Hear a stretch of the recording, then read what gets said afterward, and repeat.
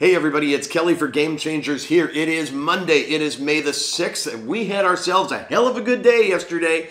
Here's what happened. We took the St. Louis Blues. They did it for us. We took them in the first period plus 103. We took them in the game plus 109. Those were both winners. Congratulations. Great game by the uh, St. Louis Blues yesterday.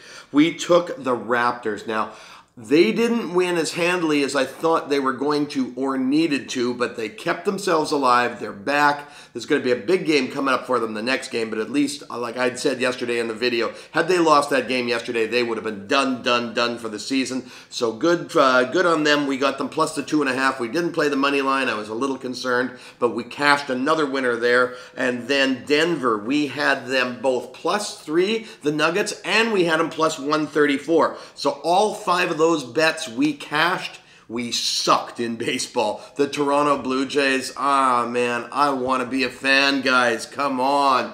But that was just a horrible game. We're going to go on the other side of them today. Uh, today, that's our only play in baseball. But come on, Blue Jays, Jesus! And uh, then that game last night, the Cubs and the Cardinals man, I got to give the Cubs a lot of respect for the strength they played that game. Those guys are on fire. They are uh, absolutely rolling. So uh, didn't get it done in baseball, but we got we picked up about uh, uh, net about four, a little over four plus units with the two losses in baseball, but the five winners with plus money on most of those bets. So let's get into tonight real quick. We got two hockey games. I like the dogs, the visiting teams in both of these games, and here's how we're going to play them. We're going to play both games the same way, and the lines are pretty similar. We're going to take the Boston Bruins plus 110 in the game.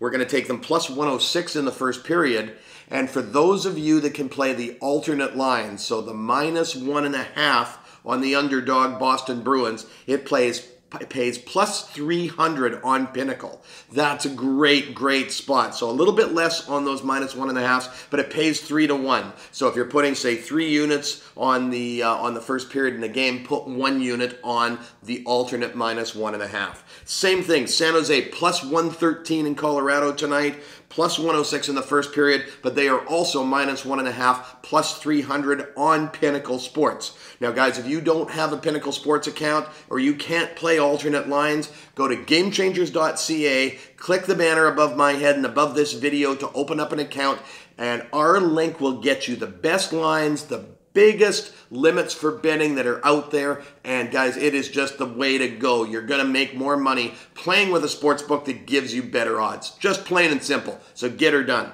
Finally, we've got one baseball game tonight. Uh, we've got Perez against Stroman uh, with the uh, Minnesota Twins coming in. Toronto absolutely got their asses kicked yesterday. Uh, I like Minnesota in the first five innings plus 105, and they're also plus 105 in the game. So, guys, let's take that. This is going to be a really big winning day. Thanks very much, guys. Let's get out there and let's bust that bookie.